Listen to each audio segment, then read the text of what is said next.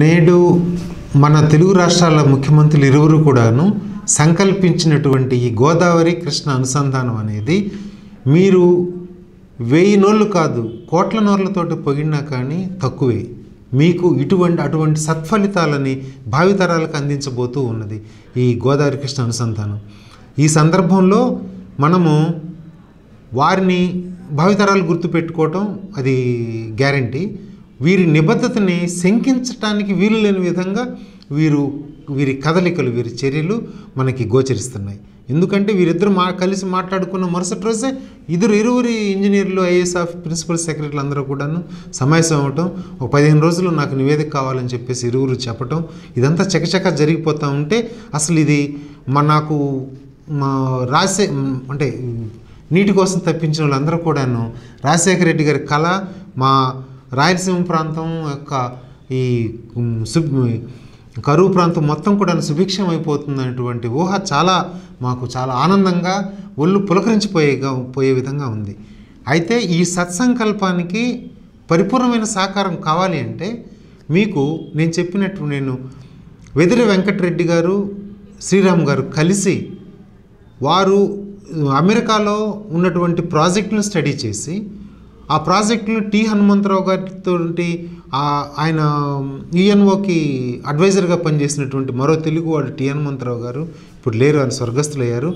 వారితో కలిసి టెక్నాలజీని ఎంతో షేర్ చేసుకొని ఎన్నో మీటింగులు వేసి ఈ వెదిరి శ్రీరామ్ వాళ్ళ నాన్నగారు చక్కటి ప్రణా ఒక ప్రణాళికను రూపొందించారు. అదేంటి అంటే జల రవాణా. ఈ గోదావరి కృష్ణ అనుసంధానంలో నీటితో పాటుగా జల రవాణా కూడాను ప్రాజెక్టులు రూపొందించే విధంగా వాళ్ళు అమెరికన్ టెక్నాలజీని స్టడీ చేసి మనకి అనుకూలంగా ఉండే విధంగా వారు ఒక ప్రణాళికను కూడా రూపొందించారు. అది ఇప్పుడు మనకి అమె చైనాలో త్రీ గార్జెస్ అని పెద్ద ప్రాజెక్ట్ ఒకటి ఉంది. దానిపైన ఇంకా ఆ, ఆ ప్రాజెక్టు కట్టిన తర్వాత చైనా మొత్తం కూడాను మీకు నదుల ద్వారానే ట్రాన్స్పోర్టేషన్ జరుగుతుంటుంది. దానివల్ల వాళ్ళకి లాజిస్టిక్ ఛార్జెస్ అనేటివి గణనీయంగా తగ్గిపోయినాయి. అంటే ఉదాహరణకి మనకి రోడ్డు పైన మన లారీలో తీసుకెళ్ళే సరుకులకి కిలోకి రూపాయిన్నర పడుతూ ఉంటే అదే రైల్లో తీసుకెళ్తే కిలోకి రూపాయి పడుతుంది. కానీ అదే నదుల మీద పడవల్లో తీసుకెళ్తే కిలోకి ఇరవై పైసలు మాత్రమే పడుతుంది. అంటే ఈ రకంగా లాజిస్టిక్స్లో వాళ్ళు లాజిస్టిక్స్లో ఓవరాల్గా మన మనకంటే వాళ్ళు టెన్ పర్సెంట్ తక్కువ రేటుకి వాళ్ళు ప్రపంచవ్యాప్తంగా సప్లై చేయగలుగుతున్నారు. అందుకని ప్రపంచంలో వాళ్ళు చీప్ లేబరు చీప్ పవర్తో పాటుగా ఈ చీప్ లాజిస్టిక్స్ కూడా ఉండటం వల్ల కాంపిటేటివ్ ప్రైస్కి ప్రపంచం మొత్తాన్ని కూడా గడగడలాడిచ్చేస్తూ ఉన్నారు. అది ఇది త్రీ గోర్జెస్ రివర్ అనేది వాళ్ళు కట్టుకోవటం వల్ల వాళ్ళు వారి చే వారి దాదాపుగా వారి దేశం మొత్తం కూడా అంటే ఎక్కడైతే సెజులు అవి ఉంటాయో వాటన్నిటి కూడాను జల మార్గాలతోటి వారు అనుసంధానం చేయటం వల్ల ఆ కాంపిటేటివ్ కాంపిటీషన్లో వాళ్ళు ముందుండగలుగుతున్నారు.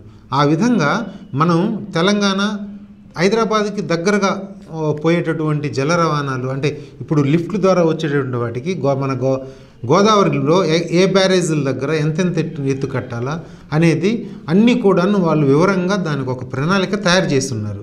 ఈ ఇద్దరు ముఖ్యమంత్రులు అంటే ఇది ఇద్దరికి కా మన తెలుగు వారందరికీ అంటే భారతదేశానికే కావాల్సినటువంటి ఒక విధానం ఇది.